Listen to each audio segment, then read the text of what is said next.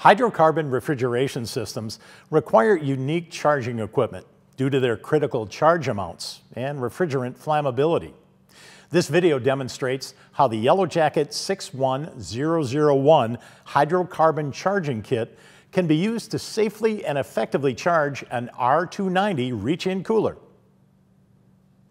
Before beginning service, place the safety placard in a high visibility area near the equipment being serviced and follow all OEM recommended safety procedures. Turn the power off to the cooler prior to starting service. Once the condenser is pulled out, the included line tap valve can be attached to the system process port for safe removal of the system refrigerant and for evacuation of the system prior to charging. Identify the bottle valve configuration needed for the refrigerant bottle being used.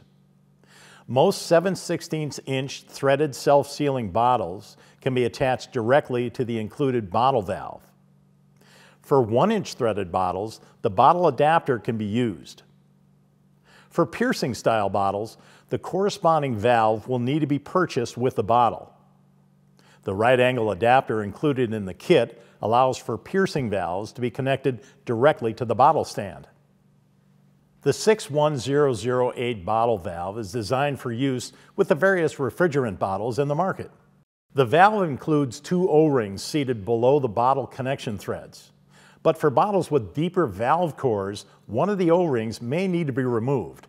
Use a gasket pick or similar tool to remove one of the O-rings if there is no flow when attached to the refrigerant bottle. With the correct valve attached to the refrigerant bottle, the bottle and valve can be connected to the bottle stand. Make sure the scale has been placed on a solid flat surface and power it on. Connect the manifold hose ball valve to the bottle stand outlet port and place the bottle stand on the scale. Zero the scale reading. Slowly open the manifold valve and begin charging while monitoring the weight change on the scale. Make sure the charging hoses are stable so they do not affect the scale readings.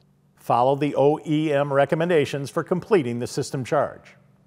Close the valves when charging is complete. Use the Vise-Grip pinch-off tool to crimp the process line on the system side of the line tap valve. Remove the refrigerant bottle from the bottle stand and disconnect the charging hose. Safely purge any residual refrigerant from the kit components and disconnect the valve from the bottle.